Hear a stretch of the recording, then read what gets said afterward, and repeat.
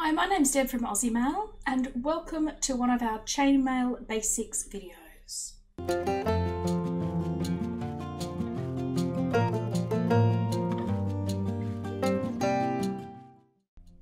Hey guys, welcome to our channel. It's really good to see you here.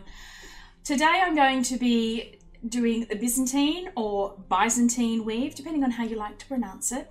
I like Byzantine because then I can shorten it down to Biz. Sounds much better than shortening it down to Biz. But anyway, today I'm going to teach you a basic Byzantine weave. It's generally the weave that everybody starts with, and it was certainly the weave that I started with. Um, it's one of those weaves that looks complicated, but it isn't all that tricky at all. So anyway, guys, great for a beginner. So sit back, watch, and um, let's just get straight into it. Okay, so here's a small sample piece of Byzantine today. So this is in 16 gauge AWG 5 seconds of an inch or 3.97 millimeter ID rings. Um, you can do this weave in various other gauges and ring sizes and I will list all of those down below in the description tab for you. But as I said, today we're going to be using 16 gauge AWG, which is 1.2 millimeter diameter wire um, and we're going to do a ring ID of a 5 seconds of an inch or 3.97 millimeters. And I'll be showing you how to create this weave in the two colors that you can see here. Okay, to start our uh, two colored Byzantine bracelet, I'm going to close two of our anodized rings Okay, and I'm going to pop a twist tie. So if you've got a twist tie or a piece of wire, um, a paper clip, anything like that to uh, put through your first pair of rings, it makes it easier to hang on to and, and keep control of your weave. Okay, so once you've got those two rings there in place, I'm going to grab one of our bright aluminium rings, our BA rings, and I'm going to feed it through both of those rings there. Close your ring up. Okay, and repeat with a second ring. In Byzantine, we always work in pairs of rings.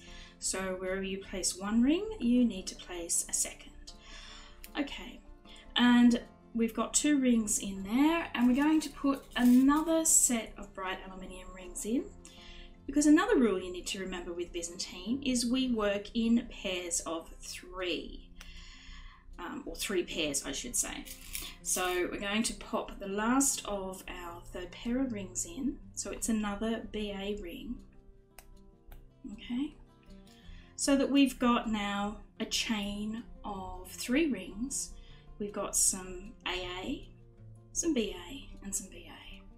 All right, so what we're going to do next is we're going to hold on to the bright, the anodized aluminium rings in our chain.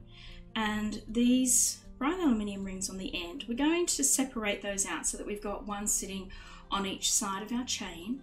And we're going to fold them all the way back so they sit against our chain. And we're going to give them a little bit of a squeeze. And we were going to hold those in place.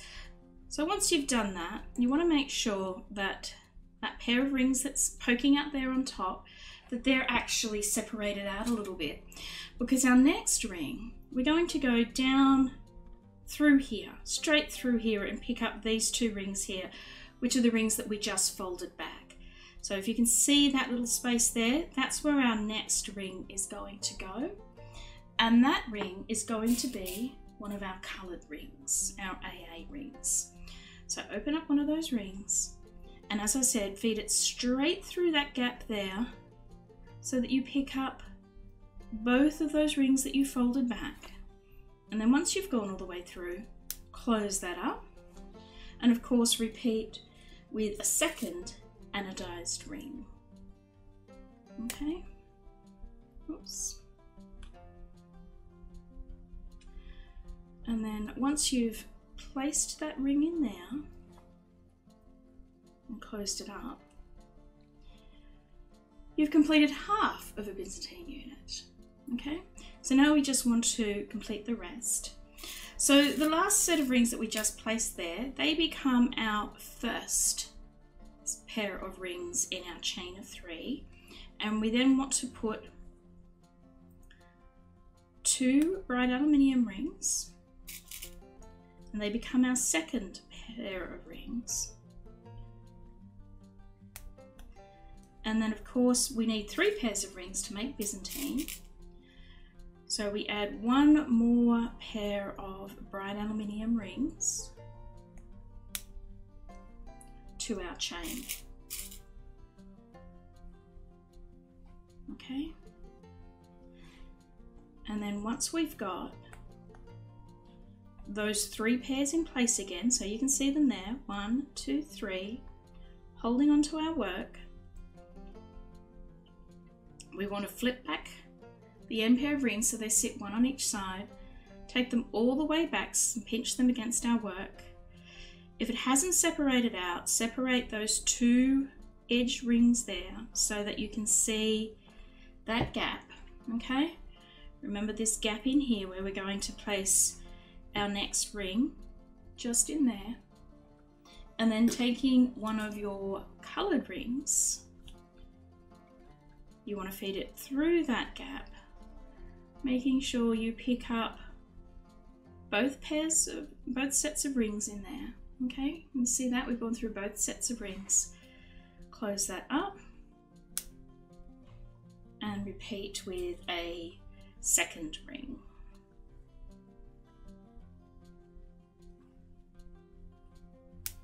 Okay, so there you go, guys. That's your first completed Byzantine unit in two colours. And we just keep repeating those steps until you reach the length that you need. So I'll just do that again with you. So the last pair of rings that we just placed, that becomes the first in our group of three. We then want to place two more pairs of our bright aluminium as we have been doing. Remember we work in pairs, so there's one and two. And we want to do one more pair of rings so that we've got our three rings in place. Or our three pairs in place, I should say. Okay. So there we go. You can see now that we've got our three sets of rings, one, two, three, and then holding our work, we flip back that end pair of rings, so there's one on each side of our chain. We squish them all the way back against our work, give it a little squeeze, and generally these two rings here separate. If they don't separate, go in and separate them out so that you can see that space in there. And then picking up one of your anodized rings, feed it through that space, making sure you've got both of those rings picked up. Okay, close that up. And remember, where you put one ring, you need to put another. So we're going to feed that through there and close that up. Okay, and you can just see that we're continuing the pattern down. So again, that's our first set of rings. We want to put two more pairs of rings because we want a chain of three.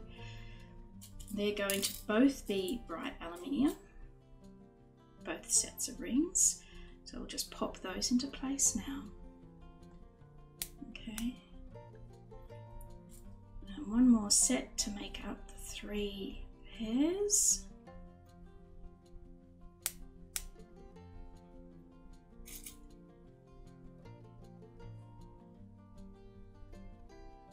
Okay, so there we are with our three pairs of rings. You can see those there. We're going to hold on to our chain. Our end pair of rings we're going to flip apart so there's one on each side of our chain. We're going to squash that against our chain like that, okay? Usually when you give it a bit of squeeze, sometimes these rings separate, but it's no problem if they don't. You can just separate them out so that you can see that space there through the middle okay? And taking up a pair of anodized rings this time, we're going to feed it through that space and lock all those rings into place. So straight through that space just there, close it up, and repeat with a second. So you just keep repeating that pattern until you reach the length that you require. And then to just finish your bracelet off, you would just take another one perhaps of your bright aluminium rings, okay? Feed that through your last pair of rings that you have.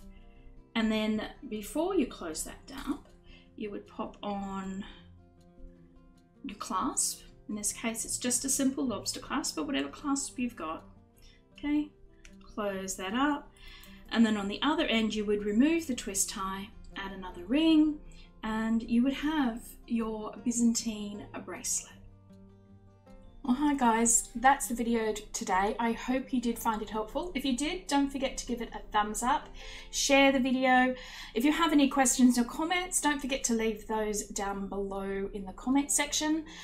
Um, and if you haven't subscribed, you're not a subscriber to our channel yet, then think about doing that. That would be awesome. And hit the bell while you're at it so that you get notifications every time that we upload something here to YouTube. If you did find this video helpful and you're wanting to um, have a look at some other um, beginner friendly videos, then check out the other videos that are in our chainmail beginners playlist. You'll find a few there to help you along. And uh, guys, don't forget while you're here to check out our store link up there in the corner. You'll be able to find all the tools and components that you need for this and many other tutorials that we have here on YouTube. Alright guys, thanks for popping along and sharing your day with me. And hopefully I will catch you again sometime in the very near future. Bye!